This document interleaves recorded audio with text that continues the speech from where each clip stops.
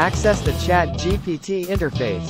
Visit the website or platform where ChatGPT is hosted. It could be an online chat application, a dedicated website, or an integrated system within another platform. Locate the login section. Look for the login or sign-in section on the ChatGPT interface. It is usually positioned prominently on the homepage or accessible through a navigation menu. Provide your credentials. Enter your login credentials, which typically consist of a username or email address and a password. If you don't have an account yet, you might need to sign up first by clicking on a Sign Up or Register link and completing the necessary registration process.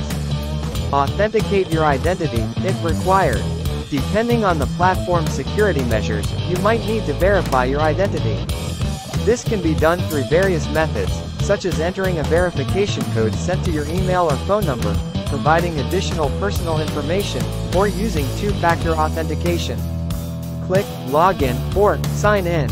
After entering your credentials and completing any necessary authentication steps, click the Login or Sign In button to proceed.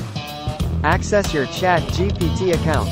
Once you successfully log in, you should be redirected to the ChatGPT interface or dashboard.